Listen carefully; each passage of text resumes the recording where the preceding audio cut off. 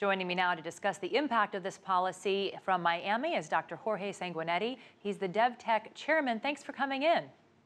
Thank you for inviting me. So, um, the obvious goal here of these import restrictions will be to boost domestic consumption in Cuba. In your opinion, though, will it work? No, it's not so obvious. The liberalization of the Cuban economy has been overstated. The liberalization is reduced to a number of segments of the economy. But uh, basically, uh, the government is trying to control or to keep its monopolistic control on the commerce because they are they feel a lot of competition from imports funded by remittances from Cubans living abroad. So, and at the same time, the, they are concerned about keeping the level of revenues, fiscal revenues or government revenues, at the same at the at a level that they can cover the internal costs, government expenses. So I don't think there there's no uh, uh, consumption industry. There, there's no consumer goods industry in Cuba that is going to be affected by this. This is basically affecting the imports of uh, uh, domestic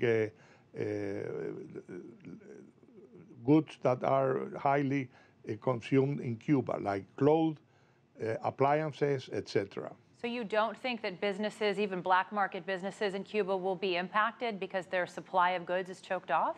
They will be impacted in terms of resale, but not in terms of production because those things are not produced in Cuba. Any so sense of what, what the impact could be on the black market economy itself?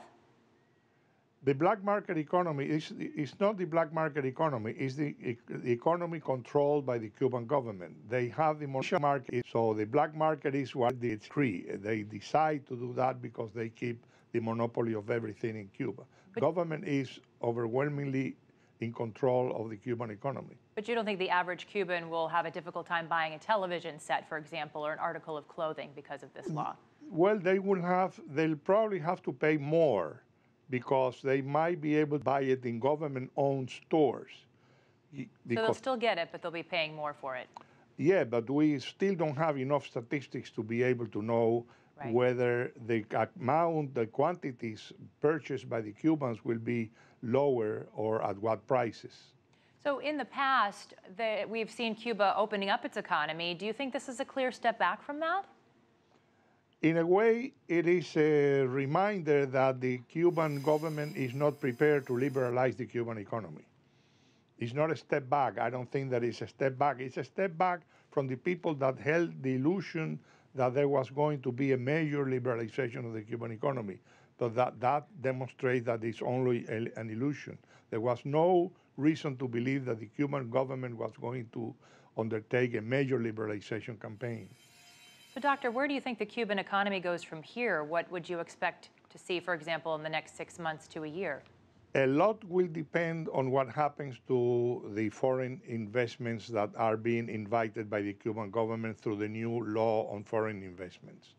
Uh, it remains to be seen whether there will be a major response from the international uh, for international investors.